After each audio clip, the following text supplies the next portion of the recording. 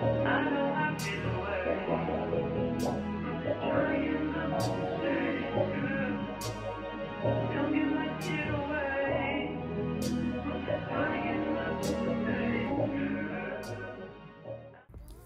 guys, welcome back to my channel. So in today's video, I'm going to be working with Junoda Hair.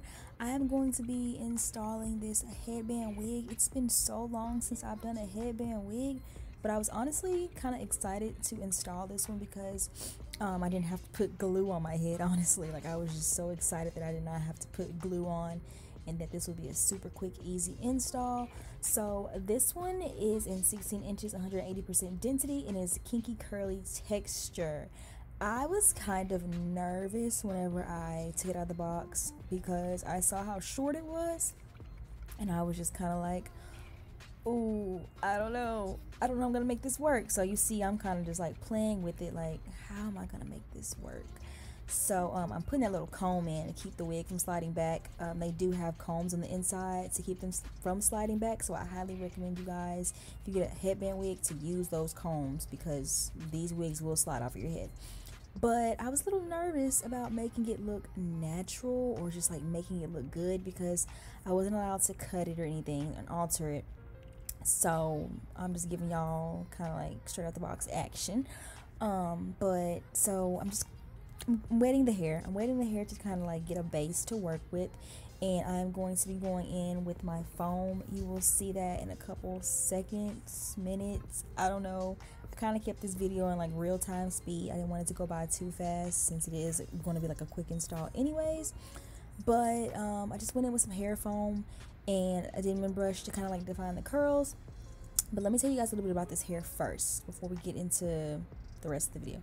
Um, the hair was super duper soft, super duper soft. I believe it's like my second time working with this company, and I was pretty impressed with this. I mean, it's a headband wig. I, I wasn't really expecting much out of it, but it was like super soft and I actually enjoyed the texture and once I got the wig to look how I wanted it to look I did like it. It was like really pretty and it looked like really really really natural. Like like it was literally my hair with the headband on. But um, since I wasn't able to cut it I feel like if I were able to cut it I could have gotten it to look even even better even better. But um, wanted to keep it how it comes for you guys. So you can see like if you want to go get the 16 inch wig, this is what it would look like. So now you can see I'm just going in with my foam and kind of raking it through my fingers and doing like little brushing with my Denman brush to define the curls. Um, but like I was saying, hair was great. There's not really much you can say about a headband wig because they're like so, they're just so simple. Like, you know, you just throw it on and go. I like that they don't take a lot of work. Like if you're on the go type of girl, or maybe your job, you don't really have time to like put in time in the mornings or at night on your hair. You can just keep your hair like in cornrows or like in a low bun and just throw your headband wig on and take it off when you get home or you know, if, or if you just prefer low maintenance wigs, these are the wigs for you. Um, I do like headband wigs. They have actually grown on me. I remember when they first became a thing, I was just kind of like, ew. But now I do see that they're very convenient to have. To have at least one in the stash. Have at least one headband wig in the stash for those days where you like your wig, your lace is coming up and you don't have time to reinstall it or you don't know how to fix it because you get your hair done. You can just take it off, move that glue off your forehead, and throw your headband wig on. Like it's just that simple. So I recommend every girl that wears wigs to have at least one headband wig. And if you want one that looks super natural, I mean, I feel like they all look super natural because they kind of like disguise. It just blends in, and looks like your hair. But I do prefer the curly ones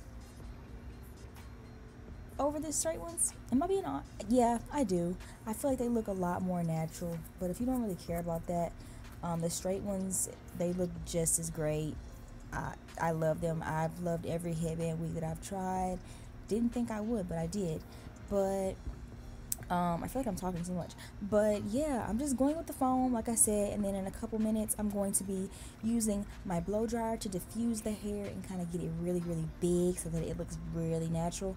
So you guys are gonna see that, and then basically after that, um, that's really all. I just kind of went in with that blow dryer, trying to like disguise those parts that look a little bit thinner because uh, I don't know, like you'll see what I'm talking about as I'm blow drying.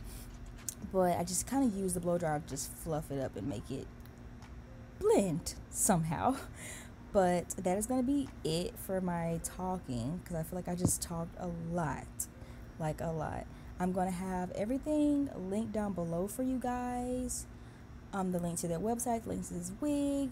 Um, so if you guys want to check them out, I do recommend them. I do recommend you get a headband wig. I do, I do, I do.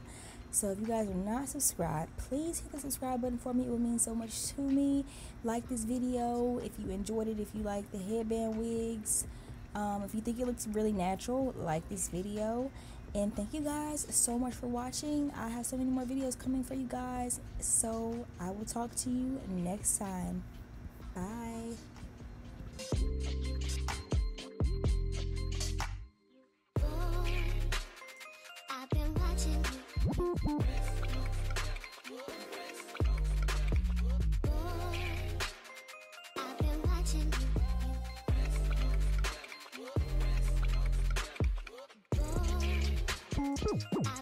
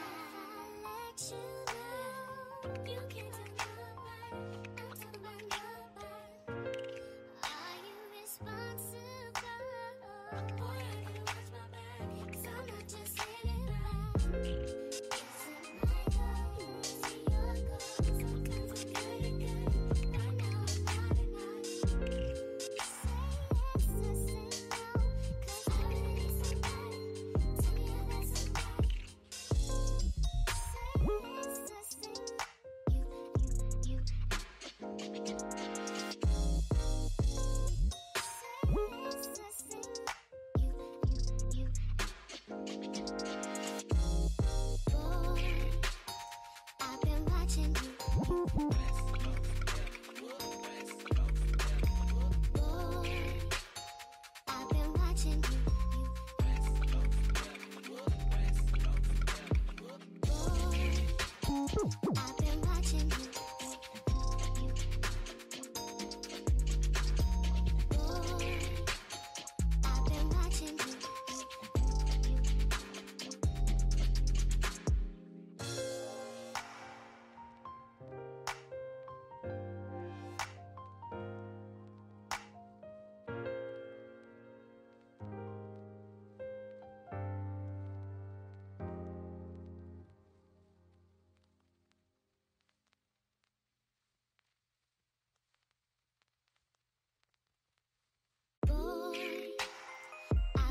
Watching you.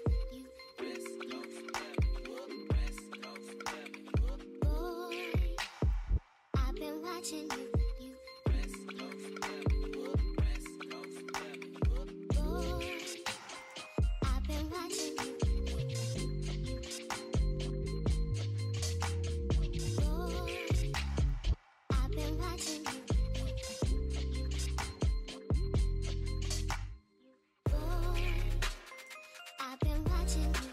I